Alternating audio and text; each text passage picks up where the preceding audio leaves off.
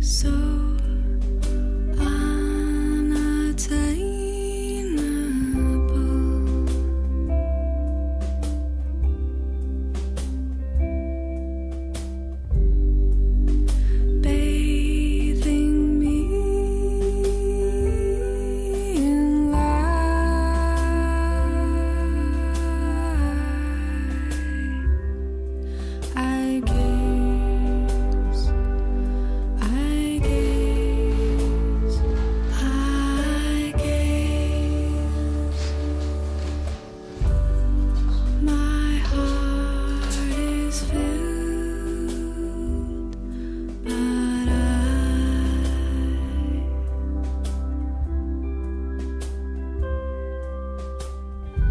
jetzt möchte ich Ihnen einen Roman vorstellen, der für mich aus der Masse der Neuerscheinungen in diesem Frühjahr wirklich herausragt.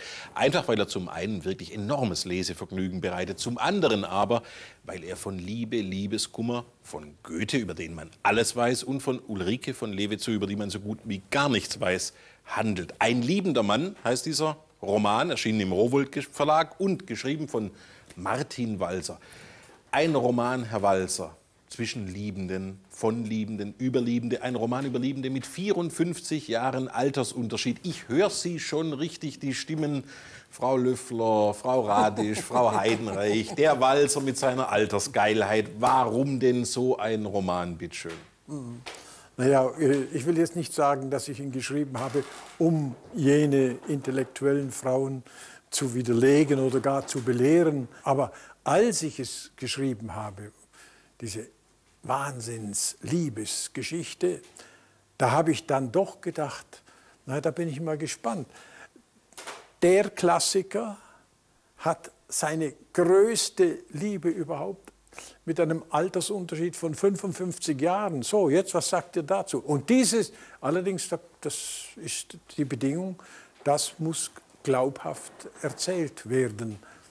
Das habe ich versucht. Hätten Sie sich je träumen lassen, mal einen Roman über Goethe zu schreiben? Sie wissen auch, dass Goethes Leben ist das am meisten dokumentierte, beschriebene, überlieferte Leben in der deutschen Geistesgeschichte. Wir Und wissen so gut wie alles von diesem wie alles. Leben. Und von Ulrike? Nix. Nix. So, jetzt stell dir mal vor, da hat der Mann diese Liebe, die zur Marienbader Elegie führt und über die Geliebte, über die Ulrike wissen wir nichts. Aber genau diese Lücke füllt ja jetzt Ihr Roman. Ja, Äh, aber- es ist ja im Grunde ein Ulrike-Roman, Ja. mindestens ebenso sehr wie ein Goethe-Roman. Und das ist, äh, und, und meine, das ist, was ich jetzt sage, hatte ich nicht, als ich da anfing, aber das hat sich äh, etabliert in mir, äh, dass ich schreibe die Ulrike, die Goethes Liebe würdig gewesen wäre, die er hätte lieben müssen, so wie er sie geliebt hat. Also nennen wir das Kind beim Namen. Also das normale Forschungsbild ist, der altersgeile Goethe im Alter von 74 Jahren verliebt sich in einen Backfisch, den er da beim Kuren trifft, die aber im Grunde überhaupt nicht äh, seiner intellektuellen Dimension würdig sein kann. Ja, aber- Sie verändern dieses Spiel. Ja, aber so wie Sie das jetzt ausgedrückt haben. Ja, gut, das ist das äh, schnöde, blöde Traditionsbild. Äh, da- das, der Witz ist, dass es, äh, es gibt ganz wenig Nachrichten, also wirkliche Nachrichten. Das eine, dass der, sein Herzog hat für ihn den Brautwerber gemacht und hat dann, da ist überliefert, was er der Familie von Levetzow angeboten hat als Versorgungspaket. 10.000 Taler Witwenrente. Mit und so, das ist drin. Ja. Und sonst nichts. Und wenn das Ulrike gewesen wäre, dann wäre Goethe nicht ganz bei Trost gewesen. Ich habe aus seiner Liebe, und die ist enorm, aus seiner Liebe habe ich eine Figur gemacht. Und dann kommt noch ein ganz wichtiges Motiv. Das hat sich gebildet beim Schreiben. Und Sie wissen, er hat in der Zeit die zweite Fassung seiner Wanderjahre und die Wanderjahre heißen Wanderjahre oder die Entsagenden. Und er hat in Weimar hier in diesen Räumen hat er den großen Entsagenden gespielt, nicht wahr? Die wussten ja alle, der kommt aus Böhmen und da war das und das und vielleicht das und das.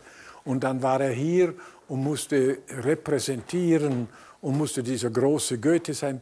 Und da hat er also den Entsagenden gespielt. Und ich erzähle, dass das ein Entsagungstheater war, dass das eine Schau war, dass er keine Sekunde lang wirklich entsagt hat. Skandal, Geschmacklosigkeit, verruchter Lustkreis, trauriges Ende einer großen Figur, alles, was mit Ulrike zusammenhing, beschwingte ihn. Er erlebt sie als Lebenszufuhr. So beschreiben Sie es. Ja. Ja, so ist das sind die Gerüchte, die, äh, mit Ihn denen er zu kämpfen hat. ja. Ja, ja. Angeführt von Ottilie, von seiner Schwiegertochter. Ihr Goethe ist auf angenehmste Weise aus Fleisch und Blut Ja, ich hoffe. und Sperma. Und Sperma. Ja. Gut, das ist jetzt Ihre. Äh, äh, ich schlucke zweimal, weil so weit bin ich nicht gegangen, oder? Ich glaube schon. Ja gut, Sie haben recht, ja, ja, ja, ja, aber bei mir ist es dann, bleibt es körperlich in der Anschauung untergebracht und nicht als Ausfluss. Naja, äh, da unterscheidet sich, glaube ich, Goethe nicht sehr von 90-jährigen texanischen Ölmilliardären oder Computermilliardären, die ihre 26-jährigen Krankenschwestern heiraten. Er betrachtet Also als bitte, eine bitte, bitte, Zufuhr Einspruch, von- Einspruch, Jetzt? Einspruch. Ich kenne diese texanischen Dinger da nicht, aber diese Dialoge, die Ulrike und Goethe auf der Promenade in Marienbad haben, die versuchen sie mal in Dallas zu finden. Ach, ich glaube da an die Möglichkeiten von Dallas, aber äh, jetzt, äh, nein, nein, es geht darum, dass Leben zugeführt wird. Das ist ja im Grunde eine vampirhafte Geschichte. Das stimmt, das hat Goethe aber auch schon vor Ulrike, das ist, hat er gelegentlich ausgedrückt, dass äh, er von, Entschuldigung, von jüngeren Frauen Lebenszufuhr.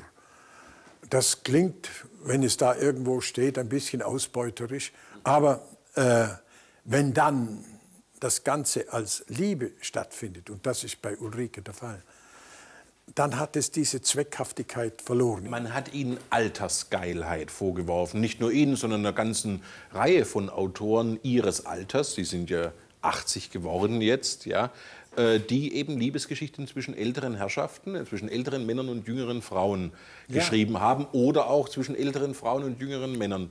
Äh, Altersrassismus, sagen Sie. Ja, ich sage, ja, ich sage nicht, ich sage, das, das, das machen die zu einer, zu einer strafwürdigen Bedingung, wie in rassistischen Zeiten eine äh, Kopulation von Schwarz und Weiß. Das darf nicht sein, verstehen Sie? Und jetzt kommt aber jetzt was dazu. Das kann auch nicht gut gehen. Und eine große Liebesgeschichte, das ist halt, ich habe ja die Welt nicht geschaffen, ich bin dafür nicht verantwortlich. Eine große Liebesgeschichte kann nicht gut gehen. Sagen Sie mir eine große Liebesgeschichte, die gut gegangen ist, nicht wahr? Nur die schüchternen Versuche in der Mitte herum können halbwegs glücken. Nicht? Aber Sie schildern Goethe wie einen liebeskranken Teenager. Die schlaflosen Nächte. Gut, wenn Sie das sagen, dass das äh, zu Teenagern gehört, das, äh, das, das ist doch nicht ein, ein Privileg der Teenager, vor Liebeskummer nicht schlafen zu können. Und deshalb interessiert es mich von Ihnen persönlich, das zu erfahren, weil Sie sind ja sozusagen äh, unser Scout auch im Alter, unser äh, ja, Pfadfinder. Äh, ändert sich das wirklich nie? Bitte, ich habe äh, in dem Buch kommt eine Passage. Was ich jetzt sage, sollte ich nicht sagen, das sollte ich den Kulturbetrieb zuerst darauf hereinfallen lassen. Aber jetzt sage ich immer, es kommt eine Stelle vor, äh, die kann nur vorkommen, weil sie auf einen Satz von Goethe zurückgehen kann, den er dem Eckermann 1827 gesagt hat in einem Gespräch. Naja, mit dem Altwerden und so.